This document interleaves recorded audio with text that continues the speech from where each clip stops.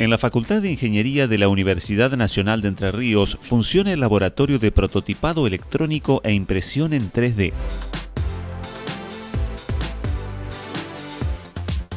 Nosotros tenemos actualmente eh, una impresora 3D que se compró en el marco de este proyecto, que es una de las tecnologías eh, que, se ofrecen hoy en día como con la mayor resolución para imprimir piezas que, que tengan detalles de hasta 16 micras y también en diversos materiales, materiales eh, elásticos, materiales eh, flexibles, materiales rígidos, translúcidos. Estamos trabajando también para eh, incorporar al laboratorio una impresora que tenga una tecnología más accesible a, demandas de sectores que no requieran el grado de detalle que mencionaba recién. Y por otro lado, junto con el equipamiento que se adquirió para fabricación de PCB y para montaje, estamos en condiciones de poder desarrollar prototipos de, de, placas electrónicas de hasta 6 capas.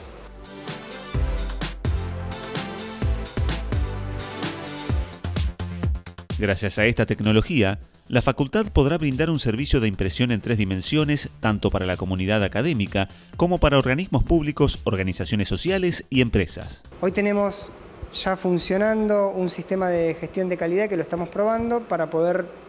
en el, corto plazo comenzar el proceso de acreditación de las normativas que requieren aquellos que demanden nuestros servicios.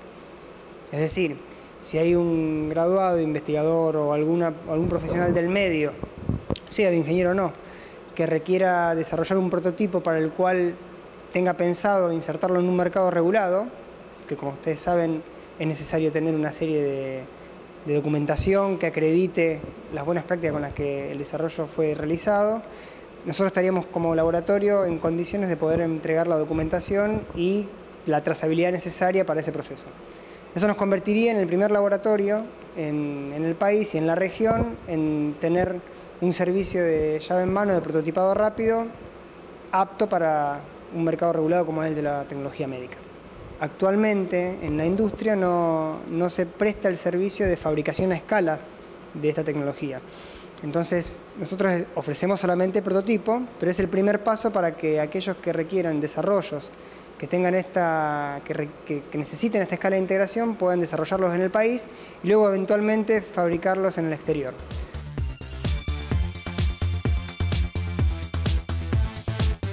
Para incentivar el uso de esta tecnología, se organizó un concurso de impresión 3D para alumnos, docentes y graduados de la Facultad de Ingeniería, siendo el requisito elaborar un modelo que resuelva un problema de ingeniería.